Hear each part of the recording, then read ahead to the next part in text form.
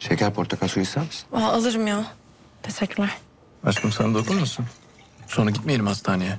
Ya bir şey olmaz. İyiyim ben artık. Ya Onca ameliyattan sonra nihayet. Tahliye olmasaydım daha çok uğraşırdım. Oğlum, Allah korusun. Güven Bey, e, yurt dışı pazarına da slogan olarak hisset ve iyileşten emin miyiz? Önerileri açayım. Ama ben öyle güçlü bir şey aramıyorum. Tamam marketing falan öyle bir şeye ihtiyaç var diyeceksiniz ama... ...ben daha samimi bir şey, insanlara dokunacak bir şeyin peşindeyim. Bağımlılık öyle her zaman iradeyle hallolmuyor. Yakınımızdaki, çevremizdeki insanların desteğine çok ihtiyacımız var. Biraz oraya hitap etmemiz gerekiyor. Dolayısıyla sadece bağımlı kişinin değil, çevresinin de bilinçlenmesi çok önemli. Biliyorsunuz uyuşturucu yaşı çok düştü. 8 yaşına kadar falan düşmüş. İnsanlara, özellikle ailelere daha çok hitap etmeliyiz. Ailelerin bilinçlenmesi gerekiyor. Çocuğuna yanlış davranan aileler olayı daha kötü noktalara getirebiliyor. Yani gönüllerden oluşan bir destek ağına ihtiyacımız var. Daha çok destek gruplarına böyle alanında uzman terapistler. Ben bir Excel dosyası hazırlamıştım bununla ilgili. Gönderiyorum. Süpersin. Hadi bir şeyler yiyin.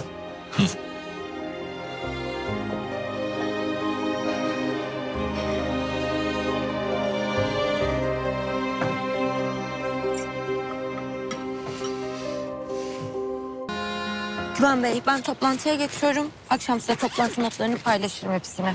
Tamam canım. Bu arada uygulamanın adını Umay koyacağım. Herhangi başka bir isimle kimse karşıma gelmesin olur mu? Tamamdır.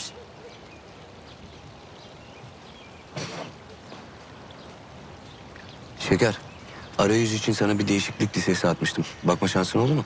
Baktım baktım. Yani bir süreç çizelgesi oluşturdum. Aylık olarak da detaylıca planladım. Aylık mı? Neden aylık haftalık yapsaydınız? Olmaz hocam. Niye? E tatil, güven. Bir ay önce söyledim sana ya. Hatta bak... Notlarına da, ajandana da not olarak ekledim. Bak, al. Aa, hakikaten. Haftaya mı gidiyorsunuz? Hı, haftaya. Önce Frankfurt'a gideceğiz. Ruth'la tanıştırmak istiyorum şekeri. Ondan sonra Hispanos Americana diyeceğiz. Espanos Americanos. Güzelmiş. Ruth, senin şu büyüten kadın evlatlık edilen değil mi? Hı. Yani senden ve yörük oğullarından önce aileme en yakın kişi diyebilirim. Neyse tam bir ay yokuz yani. Siz daha yeni tatile gitmemiş miydiniz ya? Güvencim sevgili patronum hatırlamıyorsun galiba. Sekiz ay önceydi o. Yazın çıktık biz tatile. Hadi ya.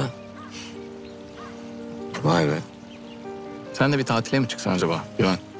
Yani işe soktun kafanı gecen gündüze karıştı günleri karıştırmaya başladın. Şimdi yetmiyormuş gibi de yılları da karıştırmaya başladın. İyi değil. Yok ya, iyiyim ben böyle. Hem haftada bir yeğenimi alıyorum. Onunla vakit geçiriyorum ya. Yetiyor bana. Yani hep aynı insanları görmek de insanı yorar. Öyle diyorsun değil mi? Yeni insanlarla tanışacağım. Singapur'a fuara gidiyorum. Hem yeni startuplarla ilgileniyorum. Onları alacağım. Bizim datayı uygularız hepsini. Siz tatilden dönünce de arayüzü güncellersin olur mu?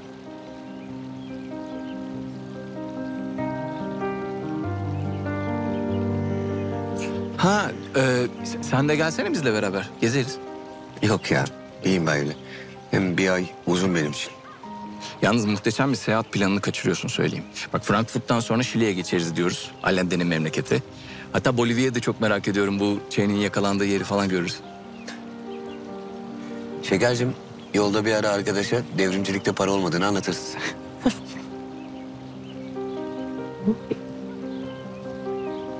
Şile diyorsun ha?